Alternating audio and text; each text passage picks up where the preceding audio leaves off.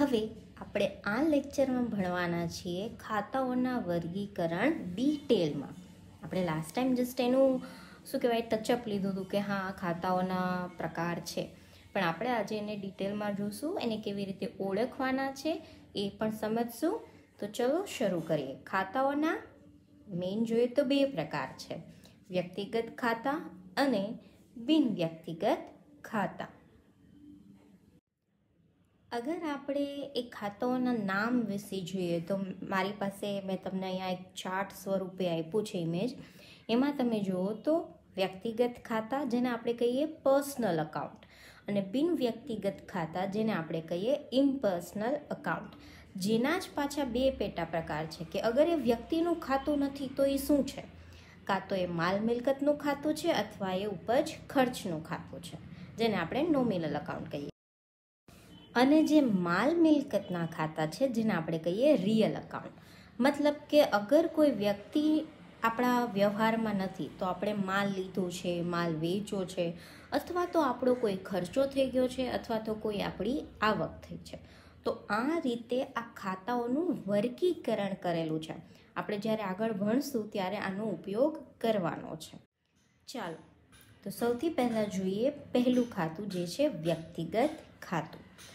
તો જ્યારે પણ આપણે કોઈ ઉધાર ખરીદી કરીએ, મેં લાસ્ટ લેક્ચરમાં સમજાવ્યું હતું, વ્યક્તિ ક્યારે આપે? જ્યારે કોઈ ઉધારની ખરીદી થાય, ત્યારે આપણે એ વ્યક્તિને યાદ રાખવાના છીએ. પૈસાથી આપણે વ્યવહાર કરશું તો આપણે સામેવાળા વ્યક્તિને યાદ રાખતા નથી, પણ ઉધારમાં જ વ્યક્તિગત ખાતું આવે છે. કારણ કે સીધી વાત છે, આપણે પૈસા આપી દીધા તો આપણે સામેવાળા વ્યક્તિને યાદ નથી રાખવાના. આપણને કોઈએ પૈસા આપી દીધા તો આપણે પણ યાદ નથી રાખવાના. પણ જ્યારે આપણે કોઈને પૈસા નથી આપ્યા, આપણી પાસેથી કોઈ ઉધાર ખરીદી લઈ ગયું છે, તો ચોક્કસ એ વ્યવહારમાં વ્યક્તિગત ખાતું તો આવવાનું અને આવવાનું જ છે. તો સિમ્પલ છે કે વ્યક્તિગત ખાતું ક્યારે આવશે? જ્યારે ઉધાર વ્યવહાર હશે, ત્યારે જ આવશે. હવે, આ વ્યક્તિ કોણ હોઈ શકે? તો એ વ્યક્તિ કુદરતી વ્યક્તિ પણ હોઈ શકે, એટલે કે આપણા જેવો માણસ. અને અહીંયા મેં લખેલું છે, કાયદેસર કૃત્રિમ વ્યક્તિ મીન્સ કંપની. કંપની છે એ શું છે? કાયદેસર રીતે એક વ્યક્તિ જ છે. કોઈ કંપની તમારી પાસેથી માલ લે છે. તમે કોઈ કંપની પાસેથી ઉધારમાં માલ લીધો, તો એવા વ્યક્તિ પણ વ્યક્તિગત ખાતામાં જ આવશે. કારણ કે એ પણ એક ટાઈપનું વ્યક્તિ જ છે. પણ કુદરતી નથી. હવે એ સમજો કે જ્યારે પણ તમે કોઈ ઉધાર વ્યવહાર કરશો, તો ઉધાર વ્યવહાર થશે એવો જ એ વ્યક્તિ સાથે દેવાદાર કે લેણદારનો સંબંધ ઊભો થશે. કાં વ્યક્તિ પાસે આપણો દેવાદાર થશે કાં આપણો લેણદાર થશે. તો એ રીતે ઉધાર વ્યવહારના કારણે વ્યક્તિગત ખાતું આવશે અને વ્યક્તિગત ખાતું આવશે તો આ સંબંધ અસ્તિત્વમાં આવશે. હવે કરવાનું શું છે? તો બિલકુલ બીજું કાંઈ નહીં. આપણે જે વ્યવહારને આપણા ચોપડામાં નોંધવાના છીએ, તો જ્યારે આપણે આ વ્યવહારને નોંધીએ છીએ, ત્યારે સિમ્પલ, અગર મેં ચોકલેટ લીધી, તો મારી પાસે ચોકલેટ આવી અને પૈસા ગયા. પણ મેં ફર્નિચર લીધું એ પણ ઉધારમાં. તો ફર્નિચર તો આવ્યું, પણ ઉધારમાં ગયું છે, એટલે પૈસા તો ગયા નથી. તો જે વ્યક્તિ પાસેથી મેં ઉધારની ખરીદી કરી છે, એ વ્યક્તિનું હું નામ લખીશ. તો એનું ખાતું બનશે. તો આપણે બે અલગ અલગ ખાતા બનાવશું. એક બનાવશું ફર્નિચર ખાતું, એમાં લખશું કે ફર્નિચર આવ્યું. એક બનાવશું એક્ઝામ્પલ તરીકે લઈ લઈએ કોઈ એબીસી ફર્નિચર કંપની તો એ કંપનીનું નામનું ખાતું બનાવશું કે આ કંપની પાસેથી આપણે ફર્નિચર ઉધારમાં લીધું છે.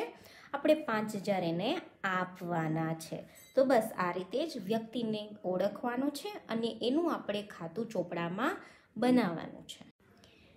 પછી વ્યવહારમાં એ વ્યક્તિ કોઈ પણ હોય, મેં એ ઉદાહરણ આપ્યું છે, મારા નામનું કે હેતલનું ખાતું છે, મોહન પાસેથી કંઈ લીધું તો મોહનનું ખાતું છે. બેંક ઓફ બરોડામાં આપણે કોઈ લોન લીધી તો લોનના પૈસા આવ્યા બરાબર, ખાતું આપણે છે.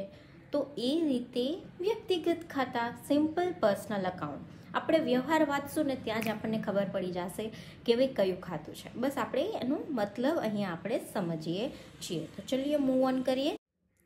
હવે આ નેક્સ્ટ સ્લાઇડમાં જુઓ મેં તમને ઉદાહરણ આપ્યું છે કે રમેશને આપણે પાંચસોનો માલ ઉધાર વેચો, તો આપણે રમેશનું ખાતું પણ બનાવશું. એવી જ રીતે બેંક ઓફ બરોડા પાસેથી આપણે લોન લીધી, તો એનું ખાતું બનાવશું. મોહન સાથે કોઈ વ્યવહાર કર્યો, તો એનું ખાતું. મીન્સ આ વ્યક્તિ છે, ઉધાર વ્યવહાર કર્યો, તો વ્યક્તિનું નામ તો લખવું જ પડશે. સિમ્પલ કોન્સેપ્ટ ઓકે ચલો, આગળ વધીએ. હવેનો પ્રકાર છે માલ મિલકતના ખાતા. એને આપણે ઇંગ્લિશમાં શું કહીએ છીએ? રિયલ અકાઉન્ટ મતલબ? અગર વ્યક્તિ નથી અથવા તો આપણે બીજો કોઈ ઉધાર કે એમનો નોર્મલ વ્યવહાર છે. કોઈ ખરીદી કરી, કોઈ વેચાણ કર્યું, તો માલ આવી રહ્યો છે ને? કાચો માલ તો કાચો માલ આપણે ખરીદવો તો પડશે. પછી એને પ્રોસેસ કરીને આપણે વેચશું. તો ત્યારે આપણે વેચાણ ખાતું બનાવશું કે માલ મારો ગયો. તો એટલી જ આપણે માલ મિલકતને આપણે શું કહ્યું હતું કે માલના ખાતા અને મિલકતના ખાતા. તો આ બે શબ્દને આપણે અલગ કરી નાખીએ, માલ મિલકતના ખાતાને. માલ એટલે એ જ કે જે વસ્તુ, જો કન્ફ્યુઝ નહીં થવાનું અહીંયા. માલ અને મિલકતમાં. આના માટે આપણે શું જોવું પડશે? ક્વેશ્ચનમાં એ જોવું પડશે કે વ્યક્તિ શેનો ધંધો કરી રહ્યો છે? એના ઉપરથી ખબર પડશે કે આ વ્યક્તિ માટે માલ કયો થશે અને એના માટે મિલકત ઉદાહરણ તરીકે માની લો કે આપણે કોઈ પ્રોડક્શનનું કામ કરી રહ્યા છે જેના માટે મારે કાચો માલ જરૂરી છે. તો મેં કાચો માલ લીધો, કોઈ કોઈ પણ નાનું એવું પ્રોડક્ટ બનાવી રહ્યા છે, તો એનો જે હું માલ ખરીદી રહી છું, મતલબ મેં પેકેજિંગ માટે કાંઈ લીધું, એનું લિક્વિડ છે કે કોઈ એવું બોક્સ છે જે મેં લીધું, તો એ બધું મારું વેપાર માટે થાય છે. બરાબર? તો એ બધું ખરીદી છે, વેચાણ ખાતું છે, માલમાં આવશે બધી જ વસ્તુ. જ્યારે મેં ઓફિસમાં બેસવા માટે એક ફર્નિચર લીધું. બરાબર? ટેબલ લીધું, એક ફર્નિચર કરાવ્યું આખું. તો આ મારો ધંધો નથી, તો આ મારો માલ નથી. તો આ મારા માટે શું થઈ ગઈ? મિલકત થઈ ગઈ. મેં એસી ફિટ કરાવ્યું. બરાબર? તો એ મારા માટે શું થઈ ગઈ? મિલકત થઈ ગઈ. તો તમે ડિફરન્શિએટ કરતા શીખો માલ અને મિલકતમાં. માલ એટલે સામાન. અને મિલકત એટલે આપણે જે દ્રશ્ય, અદ્રશ્ય કોઈ પણ ખરીદી કરીએ હવે મારા જ ક્લાસીસ હું ખોલવા માગું છું, બરાબર? તો ક્લાસીસ માટે મને જગ્યા જોઈશે તો એ મારી મિલકત થશે. મેં એક રૂમ લીધો, મેં એક આખું ઘર પોતાનું લીધું, ભાડે લીધું, તો વગેરે બી ફર્નિચર એમાં એડ કર્યું. એ બધી મારી મિલકત થશે. એનાથી હું વેચાણ નથી કરતી કે હું એને વેચતી નથી, બરાબર? તો માલ અને મિલકત, એ બંનેમાં પહેલાં તો તફાવત કરતાં તમારે શીખવું પડશે.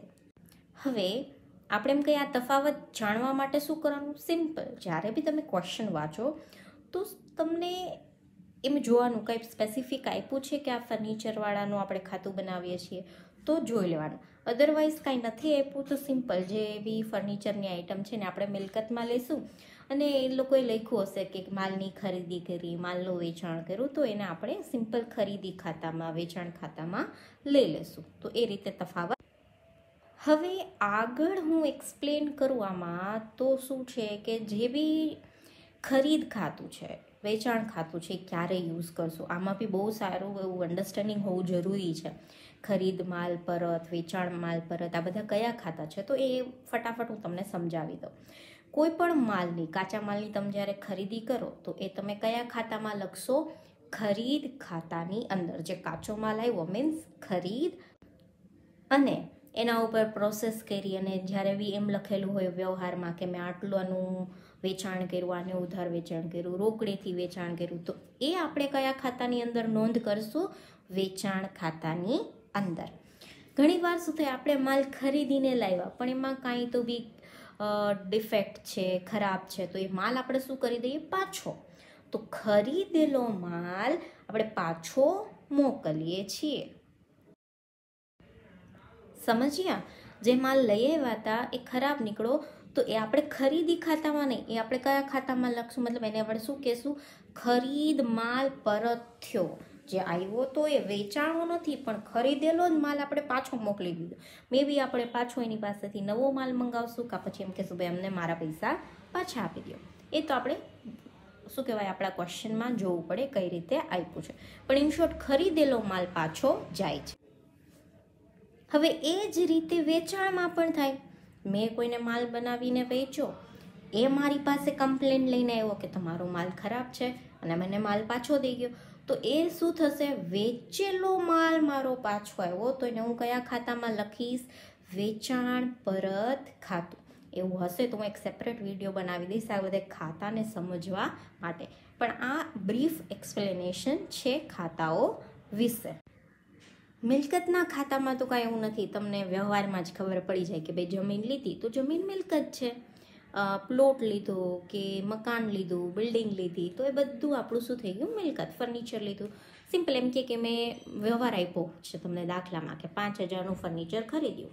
તો ફર્નિચર આવ્યું રોકડેથી લીધું તો પૈસા ગયા. મતલબ તમારે કેનું ખાતું બનાવવાનું છે? ફર્નિચરનું ખાતું બનાવવાનું છે. સિમ્પલ.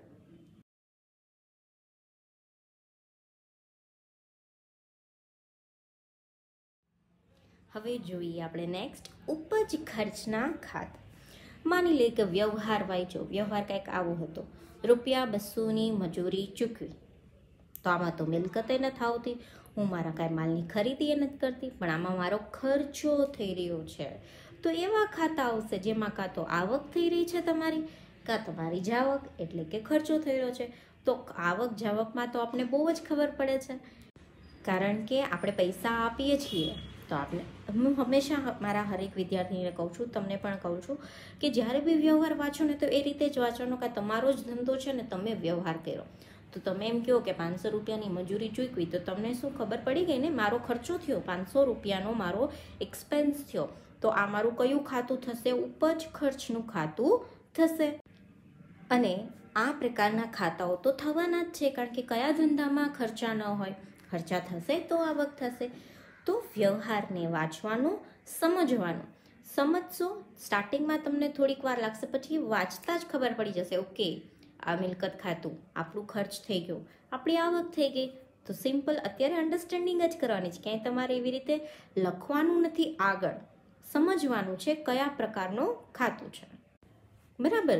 તો મેં અહીંયા ઉદાહરણ આપ્યા છે તમને. જેમ કે ઉપજ. હવે જુઓ, શબ્દ. આપણે લાગે, આપણે તો ગુજરાતી છીએ, એમાં શું ભૂલ કરીએ?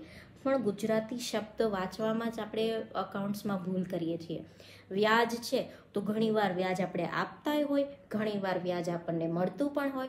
તો ગફલતમાં નહીં રહેવાનું. મળેલું વ્યાજ છે, એ આપણી આવક છે. આપેલું વ્યાજ છે, એ આપણું નુકસાન છે. તો હંમેશા એવું હોય તો બે હવે અહીંયા મેં જેટલા બી ઉપજ ખાતામાં જુઓ, તમને મેં ઉદાહરણ આપ્યા છે ને, મળેલું વ્યાજ, વટાવ, ભાડું, કમિશન, તો એ બધું આવક તો છે, પણ ખર્ચો પણ હોઈ શકે, બરાબર? એટલે સમજવાનું, મળ્યું તો આપણી આવક, આપણે આપ્યું તો આપણો ખર્ચો. સિમ્પલ, શબ્દને પકડો તો એકદમ ઇઝી છે. ખર્ચના ખાતામાં પણ મેં તમને ઘણા બધા ઉદાહરણ આપ્યા છે. એ પણ આપણે જોઈ લઈએ એક પછી એક. તો ખર્ચના ખાતામાં મેં શું આપ્યું છે? તમને મજૂરી છે, ગાડા ભાડું છે. હવે ગાડા ભાડું અત્યારે કોઈ આપતું તો નથી, પણ આપણી અકાઉન્ટ્સની બુક્સમાં હજી પણ ગાડા ભાડું જ શબ્દ યુઝ થાય છે. કારણ કે પહેલાંના જમાનામાં માલ આવતો તો આવી રીતના કોઈ મોટા ટ્રક કે એવો તો સાધન હતા નહીં. તો એને કહેતા કે ભાઈ, ગાડા ભાડું આપ્યું, માલ પહોંચાડવાનું. આપણી દુકાન સુધી કે કારખાના સુધી? તો ગાડા ભાડું. ટપાલ ખર્ચ છે, ઘસારાનો ખર્ચ છે, તો આ બધા આપણા ખર્ચા છે. હવે ઘસારો છે તો ઘસારા પણ પણ આખો ટોપિક છે. આખું એક તમને સેપરેટ ચેપ્ટર આવશે ઘસારો. તમને અત્યારે ફટાફટ થોડું એવું ડિસ્ક્રિપ્શન આપી દો ઘસારો મીન્સ કે આપણે જે વસ્તુ લીધી એ વાપરી, તો એ વાપરતા એના ઉપર જે વેલ્યુ હોય, એની ઓછી થાય. કોઈ ફોન તમે લ્યો, તો જેમ જેમ વાપરો એની વેલ્યુ ઘટે, વધે નહીં. કારણ કે એના ઉપર શું લાગે છે? ઘસારો લાગે છે. ઘસારામાં થાય શું? કે વસ્તુ વાપરતા એની કિંમતમાં ઘટાડો થાય. તમે જુઓ, એક જમીન જ એવી વસ્તુ છે, જેનું છે ને ક્યારેય વાપરતા ઘટાડો નથી થતો, એના ભાવ વધશે જ. પણ એના સિવાય તમે જુઓ તો બધી જ વસ્તુમાં, કમ્પ્યુટર છે, તમારી કોઈ પણ બીજી વસ્તુ છે, કારણ કે તમે વાપરો છો, વસ્તુ વાપરો તો એ ઘસાય, એટલે જ શબ્દ આપ્યો છે, ઘસારો, કે એની કિંમત હવે શું થઈ ગઈ છે? ઓછી. બરાબર? તો કોઈ પણ મિલકતની કિંમત ઓછી થાય તો એ તો ખર્ચો જ થઈ ગયો. ઘસારો હંમેશા કેમાં આવશે? ખર્ચામાં જ આવશે. તો આ રીતે ઉપજ ખર્ચના ખાતાને તમારે ઓળખવાનું છે. સિમ્પલ આપણે આજે ત્રણ ખાતા જોયા. આમ જોઈએ તો બે છે, પણ આપણે ટોટલ ત્રણ છે. બરાબર? વ્યક્તિગત ખાતું, માલ મિલકત ખાતું અને ઉપજ ખર્ચનું ખાતું. ત્રણેયનું ડિટેલ તો અહીંયા આપણે આજનો લેક્ચર પૂરો કરી રહ્યા છીએ, પણ આગળના લેક્ચરમાં હું તમને એ સમજાવવાની છું કે જ્યારે તમે આ ખાતાને ઓળખો, ત્યારે તમારે કઈ કઈ સાવચેતી રાખવાની. જેમ મેં કીધું ને કે આ મળેલ વટાવમાં ને ઘણી જગ્યાએ ધ્યાન રાખવું પડે. તો એ આપણે જોશું આગળના લેક્ચરમાં. શોર્ટ વીડિયો એક એના ઉપર બનાવીશ ખાલી કે ઓળખવા માટે આપણે શું સાવચેતી રાખવાની છે. તો ત્યાં સુધી જોતા રહો ને શીખતા રહો. શેર કરવાનું ના ભૂલતા.